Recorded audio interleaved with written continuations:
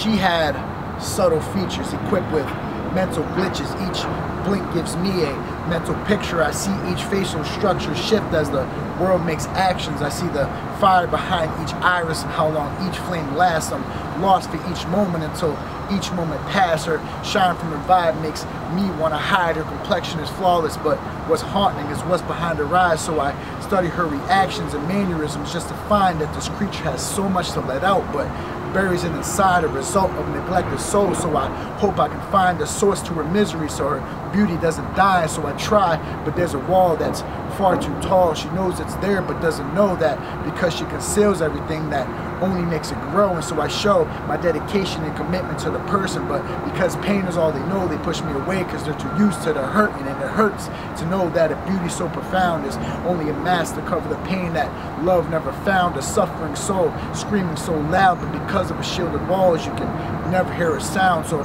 patience is a must along with time and trust because it'll be in that moment you want to leave that that person will show you why you should never give up. And that's when the proudest moments come. After all the time of trying to unwind what's been done, you then become one with that love. It's then that beauty shines bright. And what you first thought was beauty was only a small beam of light. It's then you smile and grin at the joy of realizing that beauty isn't on the outside, it lies from within.